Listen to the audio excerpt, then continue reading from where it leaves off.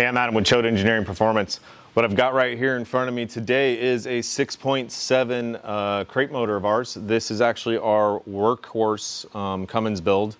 Uh, the workhorse is designed for you know those of you with a heavy right foot or those of you who are really towing um, heavily uh, every single day. You know, commercial towing. And I'm not talking about a cement mixer. I'm talking about some big heavy loads here. Um, or like I said, those of you with the heavy right foot. Uh, really is a beast of the engine. Um, but we offer these engines in a short block, a long block, or a full runner. And we offer them in four different power levels. We've got our Model C, which is essentially a Cummins crate motor with just a few uh, upgrades to fix the problems that the factory had. I'll go over those in a second. Uh, next model up from there is our daily driver, which is just another performance level above there. If you got a heavy right foot, uh, it's a great engine for you. Um, beyond that, we go to the workhorse, which is what this one is, and then we go into the cask watch, which is going to be your race build. You know, your your all out. I want all the horsepower type of a build. Um, so let's talk about what we do to every single one of these engines.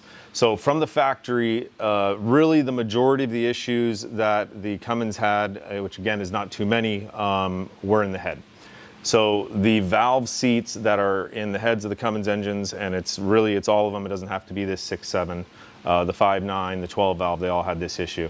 Um, the valve seats can fall out, and when they fall out, they contact the piston. They cause damage. You know, tear the engine apart, start fresh.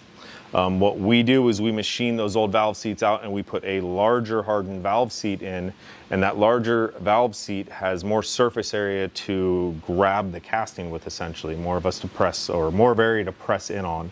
Uh, they don't fall out on you. It lasts a you know a lot longer. Won't have those issues of those valve seats falling out on you.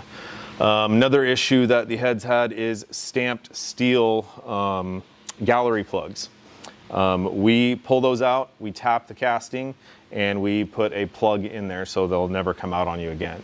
Uh, they also have freeze, ish, uh, freeze plug issues, excuse me. So on the back side of the engine here, um, you've got all your coolant gallery freeze plugs. Um, we pull those out and we put in a billet aluminum plug um, that'll stop those issues for you altogether.